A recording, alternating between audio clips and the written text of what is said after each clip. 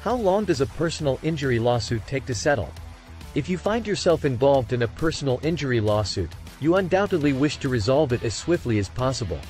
While awaiting a settlement, you are burdened with medical expenses, vehicle repairs, and various other costs. Understanding the timeline of your lawsuit can help you plan for the future effectively. It is important to note that each case is unique, so for a more comprehensive understanding, it is recommended to consult a personal injury lawyer who can evaluate the specifics of your situation. Average settlement times. The commencement of a personal injury claim involves an investigative period and the patient's medical care.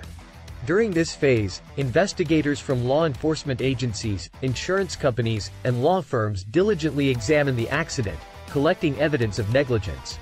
Simultaneously, you will undergo medical treatments and obtain statements from healthcare professionals. The investigative period may encompass tasks such as interviewing eyewitnesses, reviewing police reports, and gathering photographs and video footage of the accident. Once you have received medical care, it is necessary to file an insurance claim. In the case of an accident in Colorado, the claim must be submitted to the insurance company representing the at-fault party. According to Colorado's fault law, the person or entity responsible for the accident will be held liable for the resulting damages. Most insurance companies require claimants to submit their claims as soon as possible, typically within 24 to 72 hours of the accident. If you decide to file a personal injury lawsuit, you generally have a two-year window to initiate the claim. However, depending on the circumstances, this period could be as short as 180 days. Upon receiving your claim, the insurance company in Colorado has 60 days to make a decision regarding its acceptance or denial. In certain rare instances, the insurance company may request an extended investigative period exceeding the standard 60 days. Generally, however, a personal injury insurance claim will be settled within two to three months of filing. What if your lawsuit goes to court? Some cases necessitate litigation and trial to ensure fair and comprehensive results. If your accident lawyer determines that pursuing legal action against the insurance company is crucial for a favorable outcome, the resolution of your case will inevitably take longer.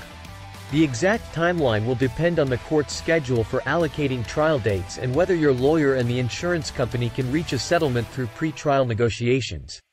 On average, a personal injury lawsuit can take one year or longer to resolve from inception to conclusion. Factors that could affect your settlement timeline.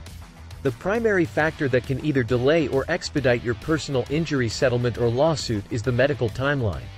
It is generally not advisable to accept an insurance settlement while you are still undergoing medical treatments. While it is possible to settle earlier than your recovery timeline, doing so may jeopardize your chance of receiving adequate compensation for your injuries.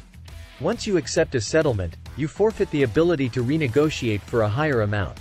For this reason, you should talk to a personal injury attorney before accepting a settlement offer to make sure you receive fair compensation for your damages. The severity of your injuries and the extent of damages sustained can also influence the timeline.